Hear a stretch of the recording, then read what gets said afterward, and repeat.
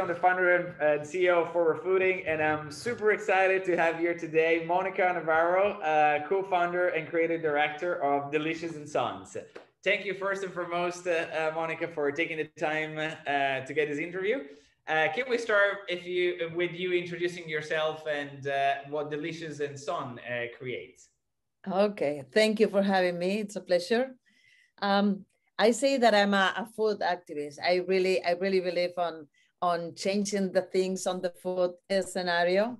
That's why this is my second my second project uh, as an entrepreneur, and um, I really I really changed from my first one just because I wanna I wanna create a positive impact on people and and and the planet through these inclusive products that we that we create. And always thinking from the from the mediterranean to the world. This is this is this is a kind of a of a of a way of explaining myself. I'm, I'm really passionate about what am i doing. I'm really passionate about being an entrepreneur. I i I love it. And I, I really love the, the way that in food tech, the woman is, is taking like a huge, a huge step. But uh, it's still it's still really something really tiny in even in food tech you can find more men than women. Then we have to continue like digging to find more women like that are ready to be to be in a in a place in in food tech. Big time monica and this is changing already as we speak. So i i think it's a testament that something big is actually happening in this sector. And uh, I can't agree more than than with you about the fact that we need more women, you know, to to actually get involved uh, in uh, in food tech. And uh, I think you know you are uh, the living uh, uh, testimony of the fact that you know you can actually build businesses that, that actually are thriving and. Um, this can inspire hopefully also more women to get to get involved. Um, yes, I think so. I'm, I'm very I'm very well I very well believe that the, that's the case. Um, can you explain us a little bit more about what actually Delicious and Son does and what your products are? We are, and, and, and, and we believe that we are being part of this movement for change, improving the lives of people, the planet, and all living things that inhabit it through delicious, honest, healthy, and of course, sustainable food. Um, it's a it's a led purpose driven sustainable food creating a positive impact on on people and the planet as i told you before no, through these inclusive products that we create organic vegan non-gmo gluten-free non-added sugars uh, paleo keto that respects a wide range of eating habits. It's, it's, it's something that is happening nowadays in in in in all the all homes. I mean, when you are now having lunch, well, now it's difficult with COVID, but uh, having lunch or dinner with with friends, every time more and more you find different diets and different opinions about food.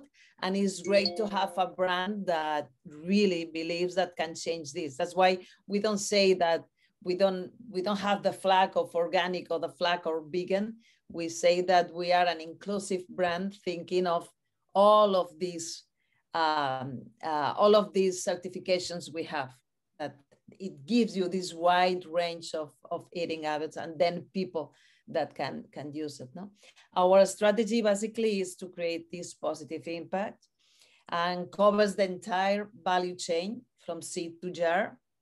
We carefully consider our impact and how to improve sustainability every step of the way, which is, I think, for us that we are tiny, we are a tiny company. Imagine if we can do it. This is always my my thought. If we can do it, why the big ones doesn't? Eh, eh, they are not working to do it, no. And uh, we say always that cooking a better world, no, shaping this sustainable future for for an action plan for the planet, no.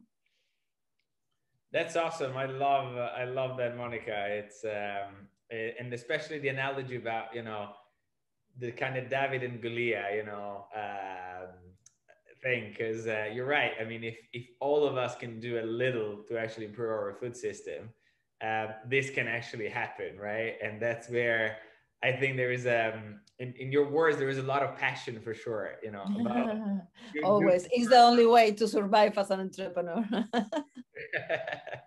Fantastic, and I always love to actually dig deeper into um, where this whole I guess company you know started. Can you tell us a bit more about where did you, the original idea for Delicious and Sons you know came from?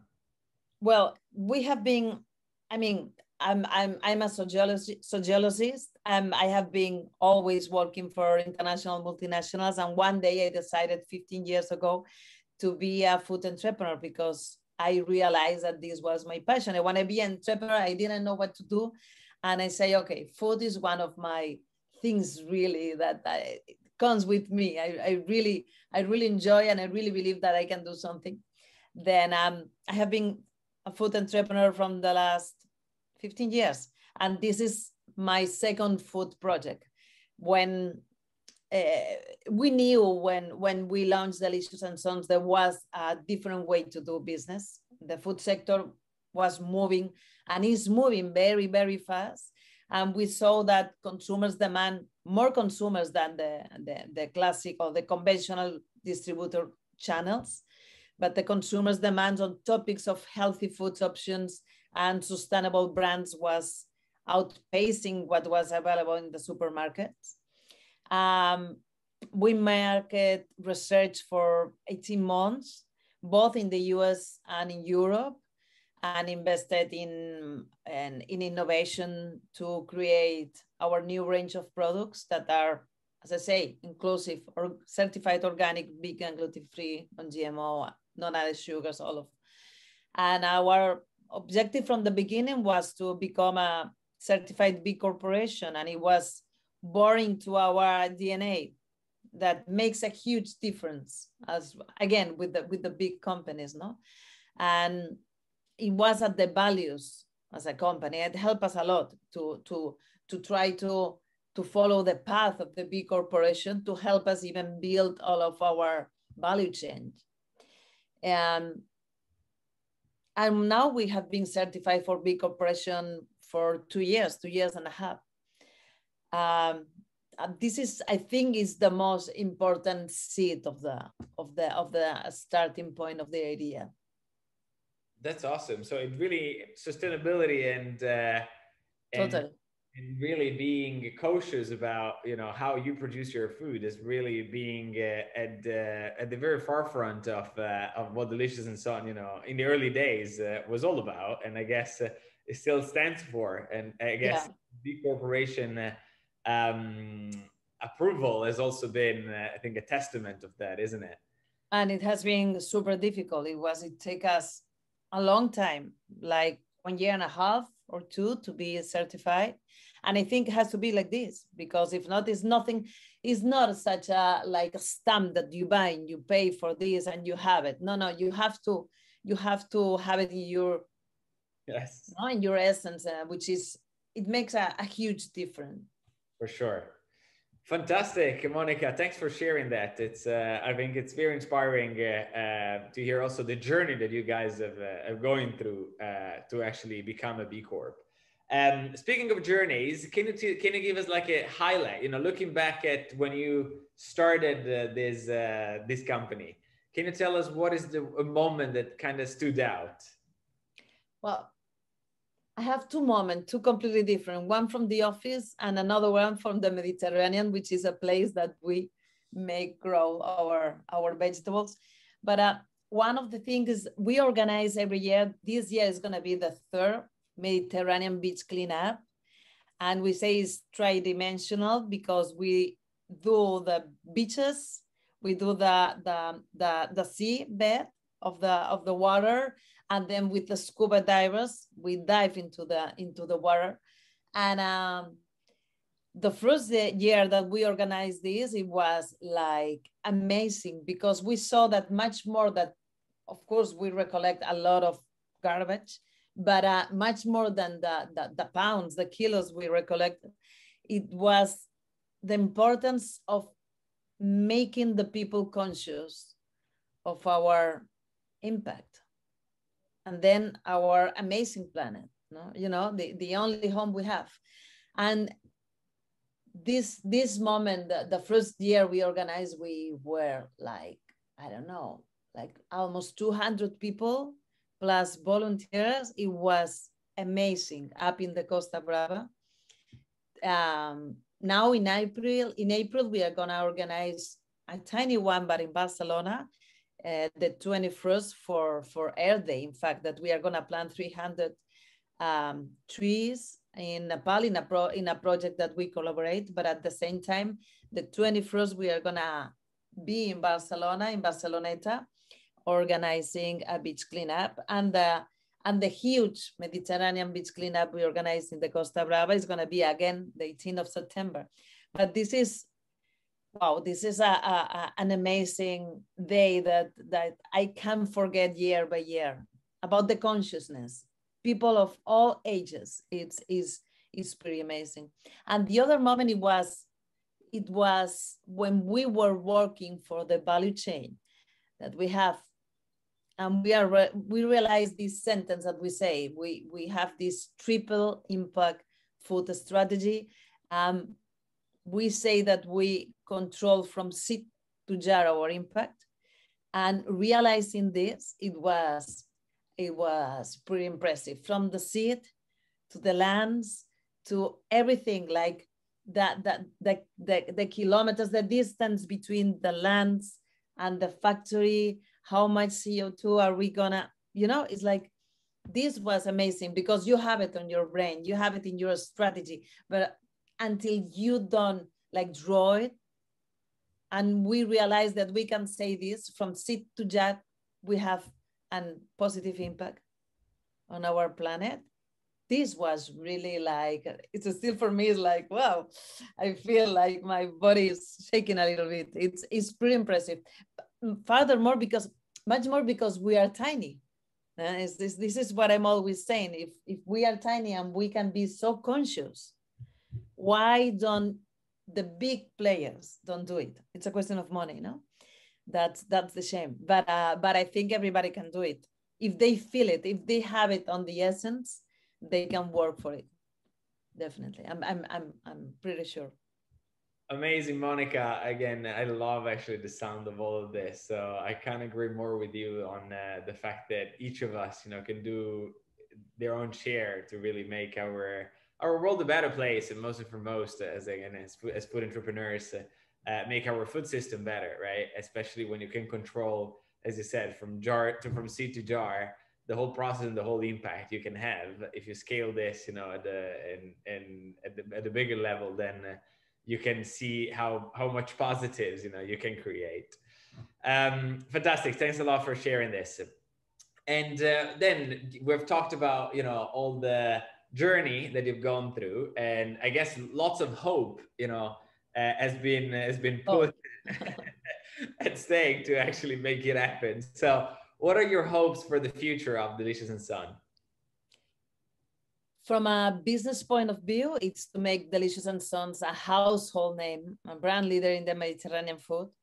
From a holistic point of view, it's to make a difference, a real difference. It's not greenwashing, a real difference to raise awareness of the pressing issues of our time climate change, food waste, and how companies like other B Corps can create positive impact and show that private sector and profit and for-profit companies are not evil and and can be for the benefit of society for sure as a whole and and for the betterment of the planet you know without doing any harm or even the other way around doing good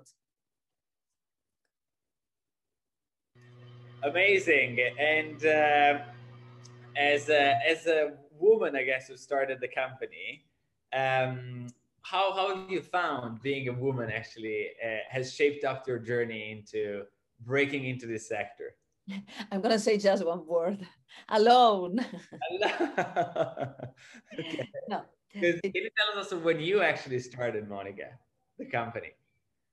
The company, Delicious and Sons, started uh, 2016, 2016, and it's it's a young company. And we have another one, the previous one, it was the Deli Shop, it was a retail business completely different, but it was more like a niche brand, a gourmet food brand, completely the opposite of what we have done now. Wow. So it was alone, alone as in, I guess, back in 2016, yes, there were not many, I guess, women who followed your path. but uh, anything else you want to add on, um, or maybe like any advice that you would give to your younger self if you were to start this again? forget that, that, that, that they are women or men, it doesn't matter. They have to fight until the end. And uh, especially they have to fight for a better planet if they feel it. You know, it's the only advice. No matter if you're a woman you're a, no matter, you have to fight. And especially if you want to be entrepreneur, you have to think that you have to work from Monday to Sunday, non-stop. And at the same time, having your own life because you need it, no? then this is this is the thing you have to fight and i'm not going to say you have to fight as a man or a man has to fight as a woman no you have to definitely fight with with the power of passion at the end because without passion i don't think i don't think you can do the same things you know it's like big time big time i think uh, you you said you know when you have a calling or you feel that you know that's your calling then uh, you need to go full on with it, right? And that's where fighting and uh, I guess uh, struggling at the beginning is part of the process, isn't it? It is. Fantastic. We're just uh, gonna fire. I'm just gonna fire another couple of questions to you, uh, and then we're gonna wrap it up.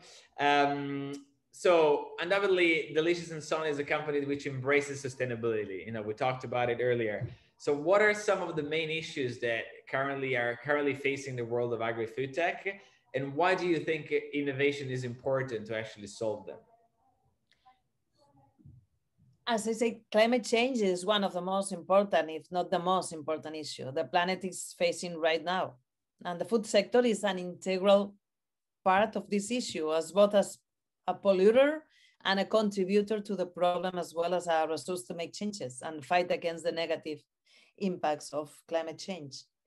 And there are many different areas that affect food sector. I mean, sustainability in ingredients, organic, plant-based, etc., etc. I mean, one thing that I, I have friends on on plant-based protein now uh, that the problem that we we find now is that more the majority of them are not organic certified but you think, okay, I'm, I'm gonna have this burger that is plant-based, which is great, but at the end it's not organic. And it's something that I think they have to evolve.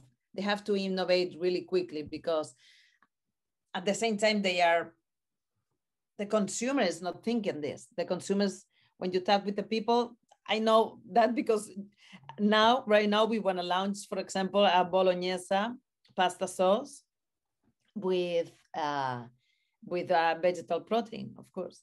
And it's, it's much more than impossible to find an organic certified um, vegetable protein, which is, I think the people doesn't, when, when you say to the people, okay, this is a burger, a plant-based burger or the, the any substitute of plant-based, the people think that this is organic. And I think that this is a misunderstanding that is gonna is gonna really really difficult to communicate against this and not just for the all of the pro, all of the vegetable protein it's, it's going to be for the rest of the brands because at the end the consumer doesn't is quite confused. And this is the worst thing that could happen. Then for me the sustainability in ingredients uh, especially on plant-based they have to they have to accelerate on the innovation and they need to put them. When you buy now a burger for example that is that is plant-based is is is not organic. And when i say this to to my colleagues or to the people that we were working with is like wow this is a surprise i was thinking i was i was buying buying organic this and it's not then i think it has to be really quick because it's going to affect all of the organic brands that we work on plant-based you know, another. Then sustainability in packaging, new materials, FSC paper, recyclable and recycled materials, circular economies. The problem with that is is that it's super expensive to use these kind of materials and the governments and the EU, they, they, they need to do something. They need to help us, to help of all of the brands that we really try to be completely sustainable. For example, we are now plastic free brand, which you can imagine what a nightmare it is because it is.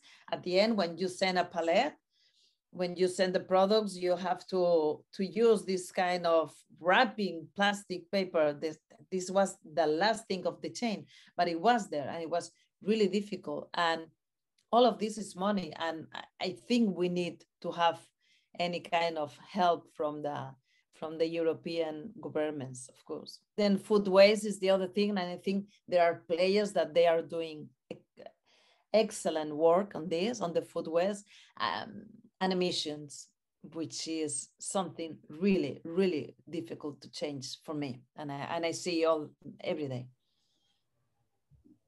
Fantastic, Monica. Oh, wow. I feel, I feel we've opened like uh, a, a world of, of problems that, however, you know, are being tackled by people like you, which is great to hear. Mm-hmm. Um, and uh, but yeah, I'm with you. I think we need to accelerate a lot on uh, on how we can actually ch- tackle really these issues with with innovation. So, um, just a very last question in regards again to the future. We always uh, like to talk about the future here. What what is the um, what is the most excited what are you most excited about about the future of food and food tech? Innovation. They they they they, they, they need to things things are moving so quickly. The ability to create new products to surprise the, the consumer with innovations that not only were were not able um, just until a few years ago but we weren't even considered possible or thought about as a possibility. No? What excites me most about is the positive impact we can all have on the planet with regards to, to this climate change, from going to organic to reducing animal consumption, new innovations in, in packaging, recycle, that's fantastic. A lot of work. I feel like a lot of work to do that. But yes, I think uh, it are really exciting uh, developments, and uh, I'm with you. They, they, will become the new norm. So yeah. ultimately, with people like you um, working, you know, in these fields, we can actually make a difference. Monica, thank you so much for taking the time uh, out of your busy schedule to to talk to us today. It's been a great pleasure to interview you, and uh, we'll we'll publish the video uh, very soon over YouTube. Perfect. Thank you very much for having me. It's a pleasure.